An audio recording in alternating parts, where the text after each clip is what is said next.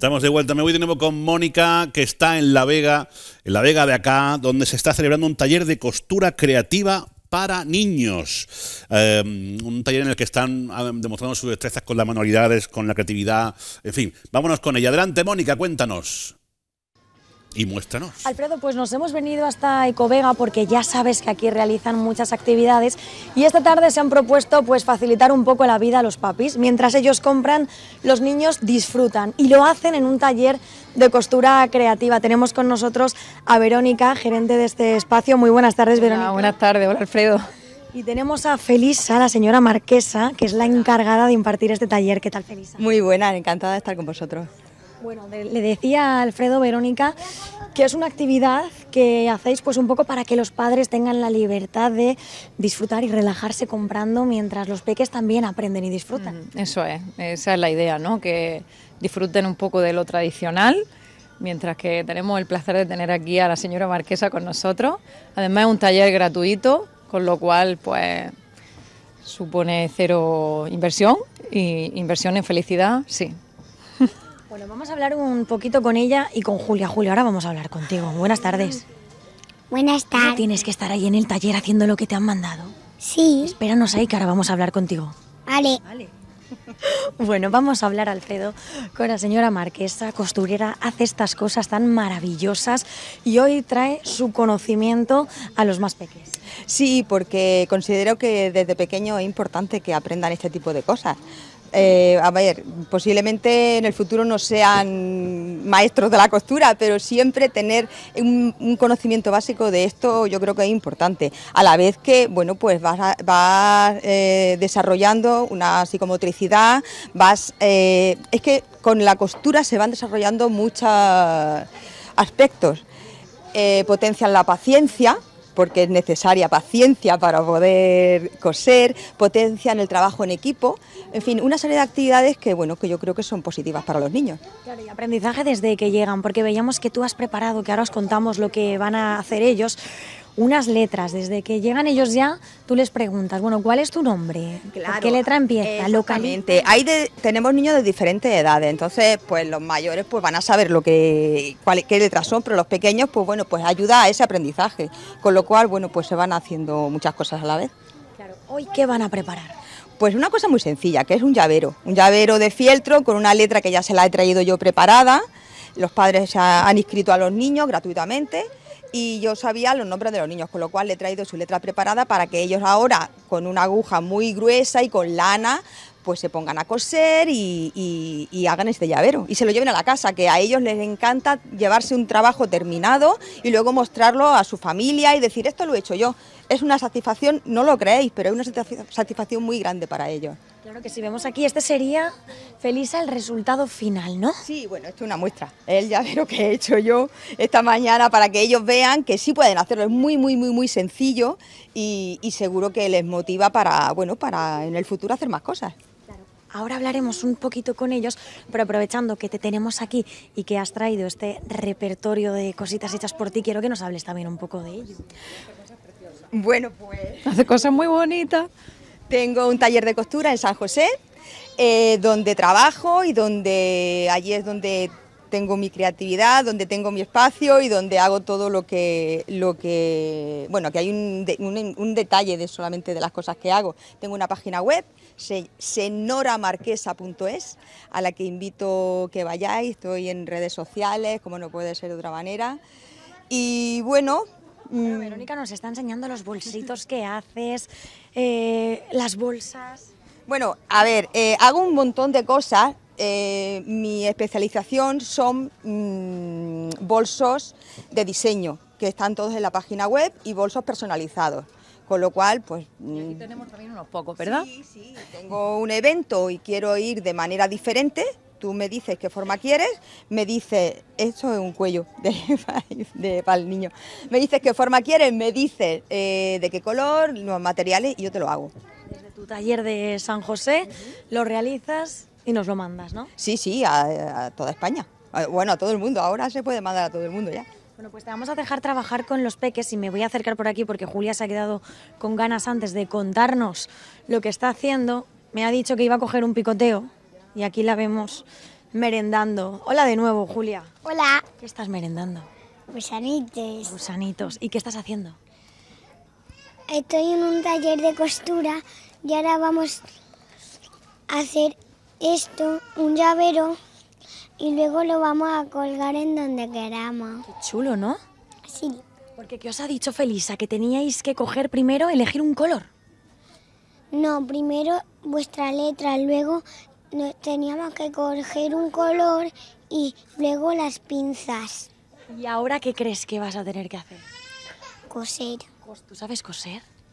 Sí, me enseñó un poquillo mi abuela. Ah, que te ha enseñado tu abuela. ¿Y cómo se cose? A ver, enséñanos a nosotros. O sea, se coge la aguja, se coge un color, lo pone en la aguja, haces así, lo metes así, así, así y vas cosiendo. Madre mía, Felisa, que tienes una alumna avanzada, ¿eh? Sí, sí, ya lo veo, ya lo veo. Bueno, pues ya nos enseñaréis el resultado final. Vale, Perdón, ¿el qué? ¿Tú quieres hablar también? ¿Cómo te llamas? Luis, Luis, a ver, cuéntanos qué color has cogido tú. morado. El morado. ¿Tú has cosido alguna vez? No, o sea que es la primera vez. Bueno, le puedes pedir ayuda a Felisa o a Julia también. ¿Sí? Bueno, pues os dejamos aquí haciendo vuestro llavero. Muchas gracias. Gracias. Alfredo, vamos a dejarle seguir trabajando. No sé si tú sabes coser, si sabes hacer llaveros, si sabes hacer algo. Si no, avísame y en el próximo taller que hagan yo te apunto y te vienes aquí también a pasar la tarde a Ecovega. Pues habrá que ir a probar también, Mónica, habrá que ir a probar. Muchas gracias, eh, compañera. Bueno, eh, decía, llevo toda la tarde hablando de un verbo eh, que tenemos que acostumbrarnos a él. Es el verbo alpujarrear. Y está conmigo el culpable de haber acuñado este término, que al final la RAE, ya verás tú, si no lo, lo- lo mete dentro del, del diccionario. Eh, mi amigo Francisco García, buenas tardes. Buenas tardes. ¿Qué Bienvenido. tal, Alfredo? Asociación Trotamundos Animado, Animados. animado. Ayer y hoy. Sí, sí, sí, sí. ¿Cómo sí. estás? Bien. Bien. Aquí en casa, a gusto, a gusto. Oye, eh, habéis creado un verbo nuevo. Alpujer, alpujarrea se llama la criatura, ¿no? Alpujarrear. Sí, señor. Yo creo. Tú quédate que cuando cuando eh, acuño el término alpujarrea, digo, pues debe estar ya creado. Pues, pues no, después me he metido para ver, para saber más. No, digo, pues para adelante. Y si tuviéramos que escribirlo en el diccionario, imagínate, alpujarrear, dos puntos, ¿qué pondríamos? Dícese. dícese de, de aquel kit de ecoturismo que nos gusta llamarle de ecotumismo, ¿no? Ajá. Un kit de ecotumismo donde entra la visita a un proyecto de, de perfil socioambiental nacido, brotado, nacido en el territorio, bien sea una huerta, bien sea una, una bodega, un jardín de lavanda, por cierto, Sí.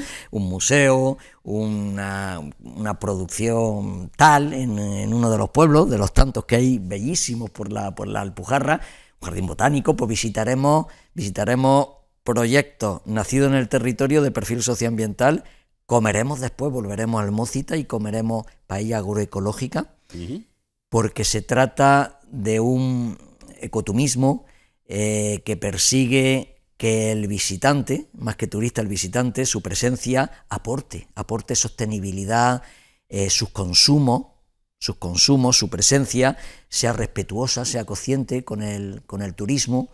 Y bueno, pues lo queremos concebir de otra manera, que no sea agresivo, que no, no afecte al medio, sino al contrario, sino que su presencia sea promotora de, de sostenibilidad, de biodiversidad.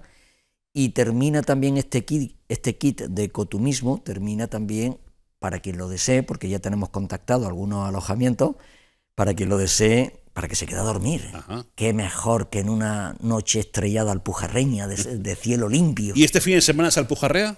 No, el siguiente. El siguiente fin de semana. El siguiente. El siguiente, porque este fin de semana tenemos movida en Almócita con, ¿Y con no AIMSA. y cuándo no es Pascua? Pues cuando no es Pascua. Pues también es cierto. ¿Qué tenéis este fin de semana? Este fin de semana está AIMSA, que es uno de los grandes eventos que tiene, que tiene Almócita. Desde aquí saludo a Cloti, que está en la tarea de, de llevarlo a cabo y estará todavía ahí con los. atando, atando cositas, ¿no? Qué bien, Actividades, qué bien lo cerrando. montáis en, en, en Hermosita, de verdad. Y qué envidia, qué envidia dais. Eh, envidia sana, envidia sana. Eh, dais mucha. ¿Cómo nos podemos apuntar a, a esto de alpujarrear? Bueno, está, eh, la Alpujarrea lo tenemos muy, muy presente y siempre circulando por las redes y con los números de teléfono correspondientes y, el email y demás para, para, que contacten. Y en el cartelito anunciador, pues ahí viene cómo contactar y demás, nada más que inscribirse, apuntarse y ya eres un, un alpujerreador, un visitante más, ¿no? E- Tenemos que sentarnos para ver cómo se conjuga el verbo. hay algunas lagunas, hay algunas lagunas. Pero no es la primera edición, eh, ni mucho menos, y hay experiencia ya, o sea que... Ya, ya, mucho varios, ya hemos, hemos visitado el Museo de, los Recuerdos de Benecid, del amigo Agustín Sancheita, hemos visitado eh, el viñedo de los vinos Pura Vida en Fuente Victoria, el Jardín de las Lavandas, una preciosidad de, jardín de lavanda, ¿no? Hemos visitado también la fábrica de cerveza artesanal local allí en, en La Ujar, La Cala, ¿eh? Sí hemos visitado ya sitios y seguimos en ello. Y quien participa se lleva muy buena impresión y se lleva un gusto eh, bueno, ¿verdad? Sí, porque muchas de las veces pues hay cata, si vamos al viñedo, si vamos a la fábrica de cerveza, si no, si no es de cata la cosa, eh, mm, pues hay un micro taller, ¿no? como en el Jardín de las Lavandas, y siempre, siempre hay algo, alguna sorpresa, y además les resulta grato porque ven otra forma de hacer ecoturismo, otra forma de hacer turismo, no a la veneciana, no menos agresiva, eh, coparticipando en esa sostenibilidad, promocionando no, pues sí, la, biodiversidad y demás, es otra forma de estar, de hacer. es lo que perseguís desde vuestra asociación y desde el pueblo de Almócita, ¿no? Eh, eh, concienciarnos de las bondades de la sostenibilidad y de que cada uno de nosotros juega un papel importante en esto. Si creamos esta experiencia, porque la Alpujarra es también una experiencia ecoturística, si la creamos porque eh, siempre por lo mismo hacemos las cosas, ¿no? Por, porque somos de pueblo, nos gustan los pueblos, apostamos por ellos para que no se despueblen, para que se reanimen, ¿no? Para que salgan de su abandono y de su soledad. Y, yo estoy convencidísimo que una de las grandes respuestas está en el turismo.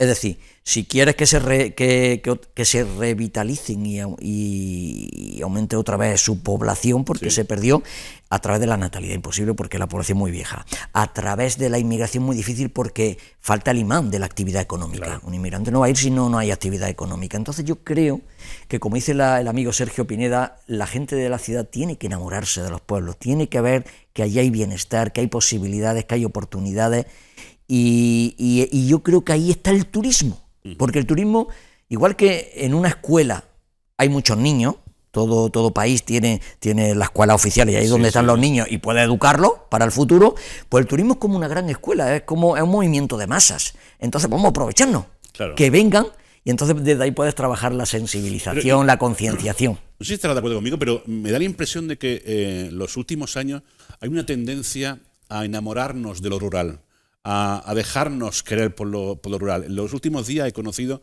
personas que han dejado la gran ciudad por irse a un pueblo, te pongo por ejemplo Naroya, bueno, pues a fincarse allí, a poner en marcha un proyecto eh, y están encantados de hacerlo, ¿no? Y se va corriendo la voz. ¿Tú tienes esa, conciencia? Yo lo creo, yo creo que, la ciudad, la ciudad como, como fenómeno social está un poco agotada. O sea, hay mucho hacinamiento, es muy difícil eh, que funcionen ciertas cosas, la basura, los consumos, la circulación del tráfico, es complejo. Por ahí alguien me decía, mira que difícil, complejo llevar un, cohete a la luna, ¿no? Y un humano a la luna. Pues más difícil hacer funcionar una gran ciudad. Imagínate una ciudad como Nueva York, 17 millones.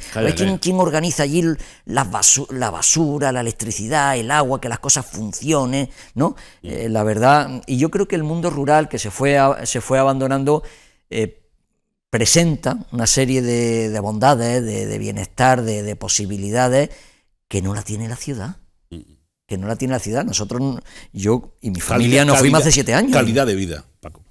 Sí, sí, yo hace siete años me fui, me habían elegido, me fui a Hermosita y yo estoy encantado. Y mi hija está encantada. Es verdad lo de la calidad de vida. Es verdad, es, es desprenderte de determinadas comodidades, entre comillas, para mm, vivir de otra manera, ¿no? Vivir de una forma más natural.